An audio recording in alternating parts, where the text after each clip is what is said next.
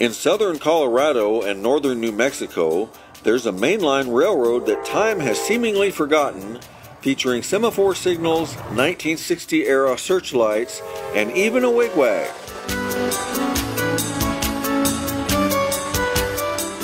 We're, of course, talking about the BNSF's Raton and Glorieta subdivisions, home to Amtrak's Southwest Chief, and you'll see it all in semaphores, searchlights, and the Southwest Chief.